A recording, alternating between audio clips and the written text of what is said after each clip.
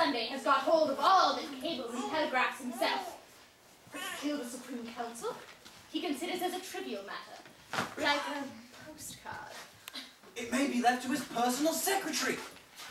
There is a great deal to be said for that. But if anyone has a preference for the alternative, I strongly advise that you walk after me.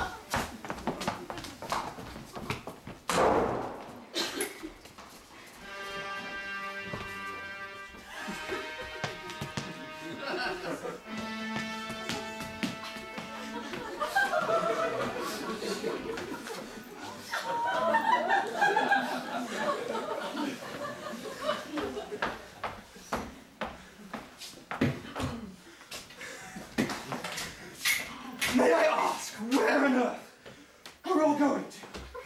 We must get down through town to see. I believe that that part of the country is least likely to be with What can you mean by all this? They can't be running the real world in that way. Surely not many working men are anarchists. But surely if they were, mere mobs couldn't beat armies and police. Mere mobs? You talk about mobs and the working classes and they were the issue. You have that eternal idiotic idea that if anarchy came, it would come in the form of the poor. Why should it? The poor have been rebels, but they have never been anarchists. The poor man really has an interest in there being some decent government. Oh, he really has a stake in the country. The rich man hasn't. He can go off to New Guinea in a yacht. Oh. Well, aristocrats have always been anarchists, as can be seen from the battlefield. As a lecture in English history for the little ones, this is all very nice. but I fail to grasp its application. Its application is that four out of five of Sunday's right-hand men are South African and American millionaires. That is how he got hold of all the communications. And that is why the last four champions of the anti-anarchist police force are running through a wood like rabbits! Millionaires I can understand. They're nearly all mad. But getting hold of a few wicked old men with hobbies is one thing. Getting hold of great Christian nations is another. I would bet the wig off my head that Sunday would stand perfectly helpless before the task of converting any ordinary person anywhere. I think that rather depends on the kind of person you meet. Well, for instance, that person.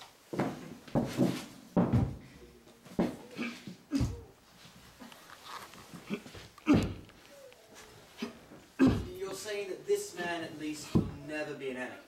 Only for the reason that he has plenty of property to defend? I had forgot that in our country we are not used to peasants being wealthy. He looks poor. That is why he is rich! I have an idea. How much would it take us for him to give us a lift in his car to wherever it is we're going? Oh, give him anything. I have piles of money on me. That will never do. He will never have any respect for you unless you drive a bargain. Oh, if he haggles. He haggles because he's a free man. You do not understand. He would not see the purpose of your generosity. He is not being tipped. I say, dear fellow,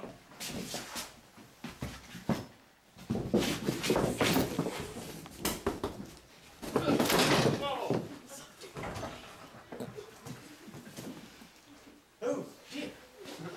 what do you think? Must have frightened him. We must keep moving.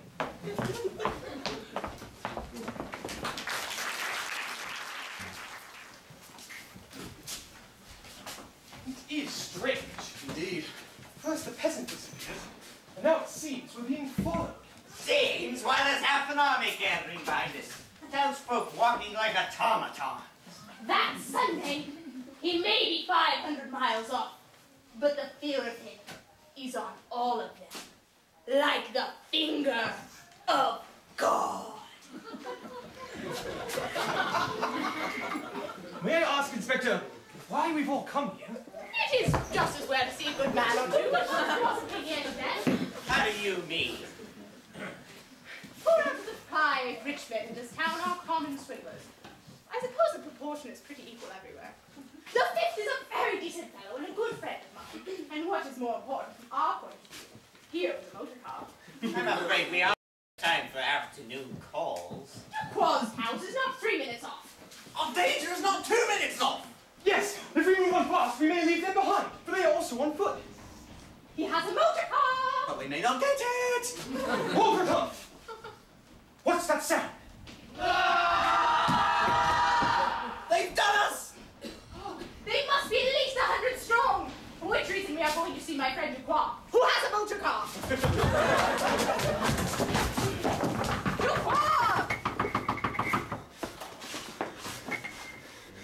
Sir, we're being chased by a league of anarchists. Anarchy is childishness. Ah! And that is childishness, is it?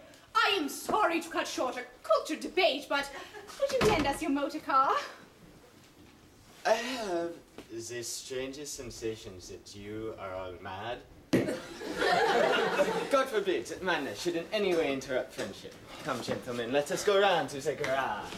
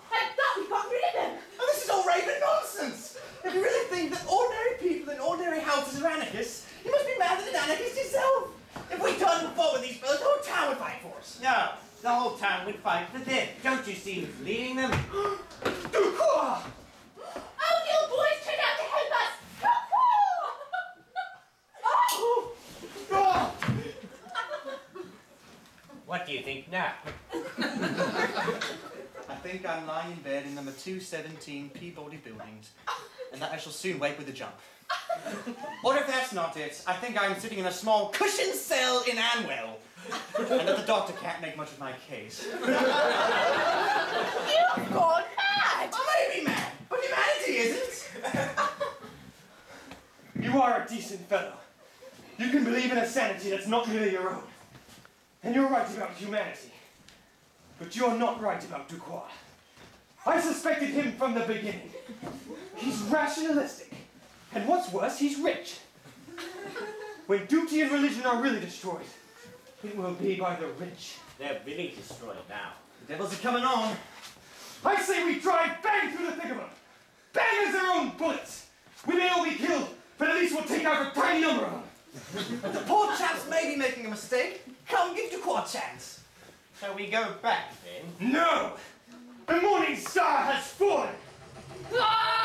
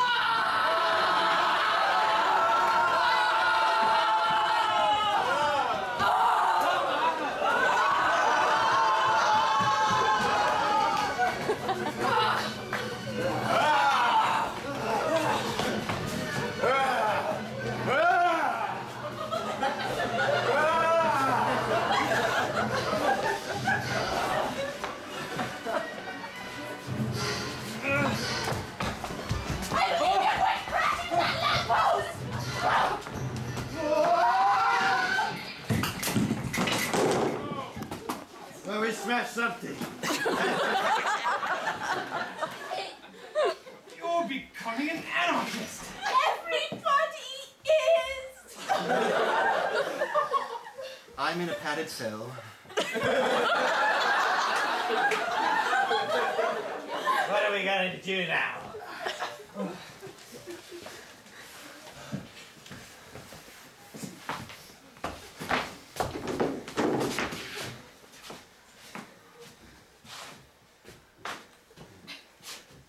Do you see this lantern? Do you see the cross carved on it and the flame inside? You did not make it. You did not light it. Better men than you, men who could believe and obey, twisted the entrails of iron and preserved the legend of fire. There is not a street you walk on, there is not a thread you wear that was not made as this lantern was. By denying your philosophy of dirt and rats, you can make nothing. You can only destroy. You will destroy humanity. You will destroy the world. Let that suffice you. Yet this one old Christian lantern you shall not destroy. It shall go, or your empire of apes will never have the wit to find it. Let us charge these dogs, for our time has come to die. Stand! Mr. Syme, I hardly think you understand your position. I arrest you in the name of the law. Of the law!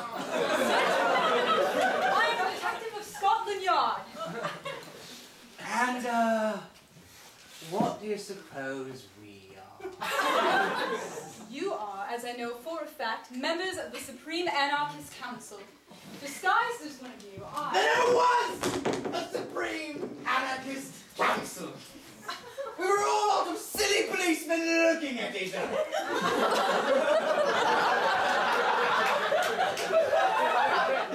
and all these nice people who have been peppering us with shot thought we were dynamiters.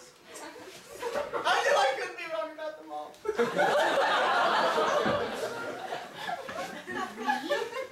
Have been chasing each other down the whole time, avoiding the one true question! Which question is that? What are we going to do about Sunday? You can't make head or tail of old Sunday's little game any more than you can. But whatever else Sunday is, he isn't a blameless citizen. Confound it! Did you see his face? I grant you I was never able to forget it. I sh- suppose we shall find out soon, for tomorrow we do have our next general meeting. You will excuse me for being well acquainted with my secretarial duties. I suppose you are right. I suppose we might find it out from him. But I should confess, I should feel a bit afraid of asking Sunday who he really is. For fear of bombs. For fear he might tell me. Well, let us have some drinks. I tell you, I found him! Who? Not the president! Not so bad as that! Not so bad as that! I've got him here! Got who here? The man who used to be the hairy man! Gogol! There he is!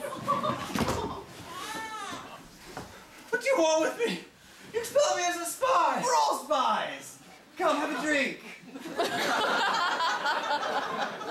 this is more cheerful.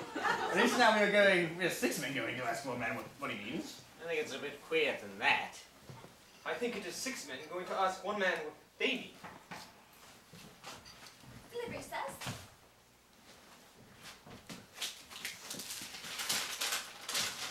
It's from Sunday.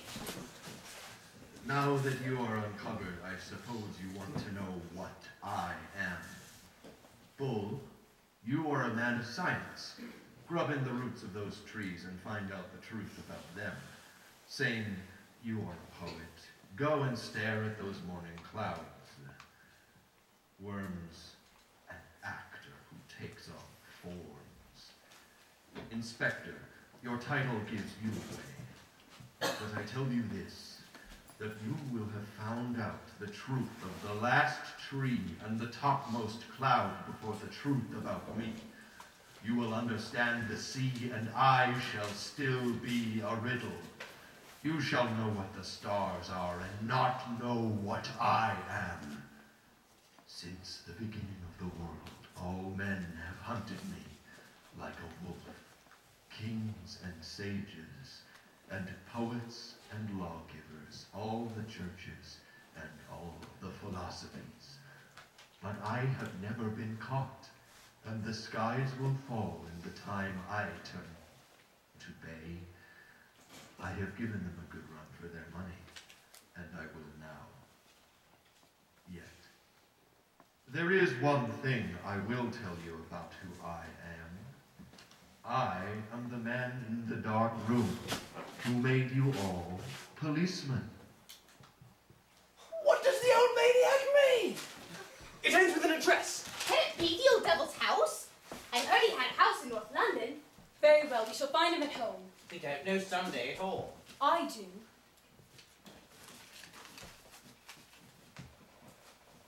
Perhaps it is because you are better than I and do not know hell.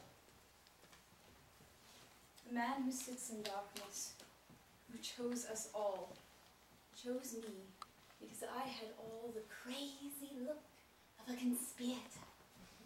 Because my smile looked crooked and my eyes were blue, even when I smiled. But there must have been something in me that answered to the nerves of all these anarchic men. For when I first met Sunday, he expressed to me not your airy vitality, but something both gross and sad in the nature of things. Found him smoking in a twilight room, the brown blind pulled down, infinitely more depressing than the genial darkness in which our master lives. He sat there on a bench, a huge heap of a man, dark and out of shape. He listened to my every word, without speaking, or even stirring. I poured out my most passionate appeals and my most eloquent questions. Then, after a long silence, the thing began to shake, and I thought it was shaken by some secret malady.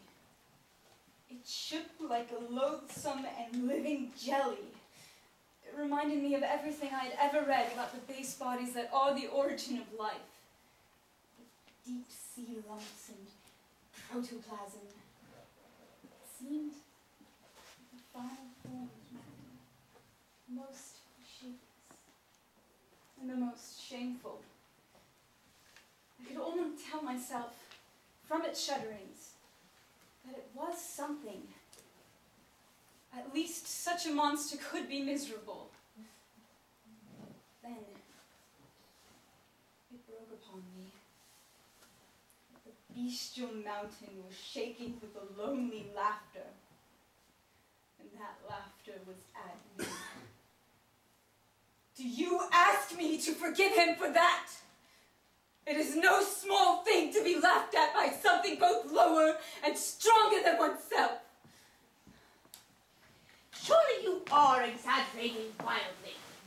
President Sunday is a terrible fellow for one's intellect, but he is not such a Barnum Street physically as you make out. He received me in an ordinary room. A check coat in broad daylight. He talked to me in an ordinary way. But I'll tell you what is a trifle creepy about Sunday. His room is neat, his clothes are neat, everything seems in order. But he's absent-minded. Sometimes his great bright eyes go quite blind, for hours he forgets that you're there. Now, absent-mindedness is just a bit too awful in a bad man. We think of a wicked man as vigilant. We can't think of a wicked man who is honestly and sincerely dreamy. Because we daren't think of a wicked man alone with himself. An absent-minded man means a good-natured man. It means a man who, if he happens to see you, will apologize. But how will you stand? An absent-minded man who, if he happens to see you, will kill you. That is what tries the nerves. Abstraction combined with cruelty. Men have felt it sometimes when they went through wild forests and felt that the animals there were at once innocent and pitiless, that they may ignore or slay.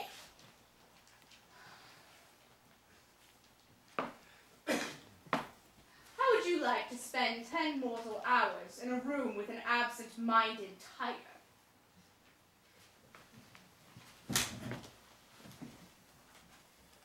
What do you think of Sunday, Gogol? Oh, I don't think of Sunday on principle, any more than you would look at the sun at noonday. Well, that is a point of view. And what do you say, Professor?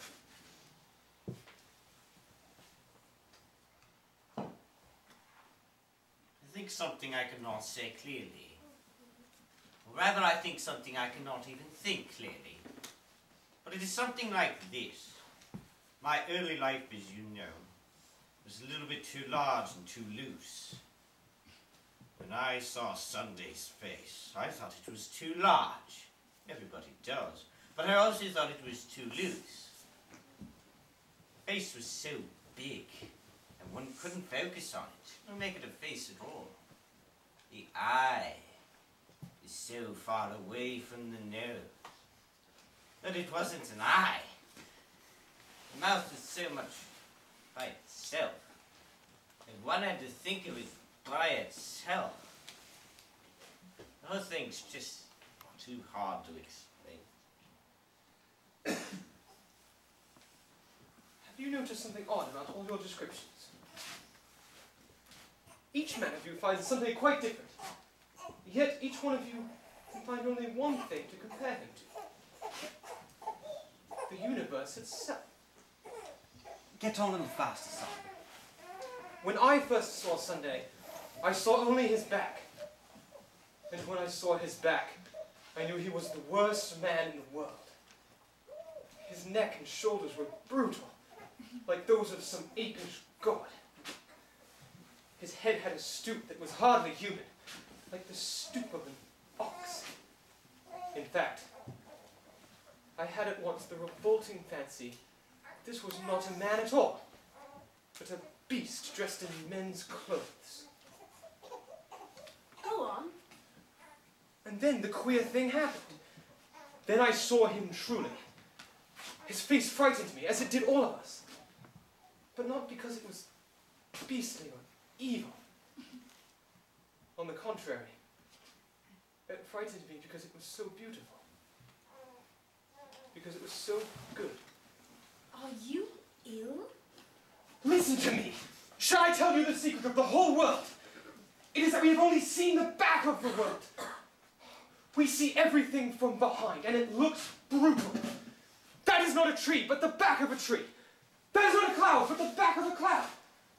Cannot you see that everything is stooping and hiding a face? If we could only get round in front.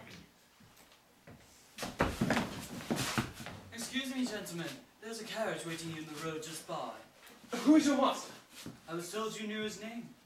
Where is this carriage? It's only been waiting a few moments. Oh, what can it all mean? Is it another joke of Sundays? I don't know. If it is, it's one of the jokes you talk about. It's a good natured one. Your costumes have been prepared for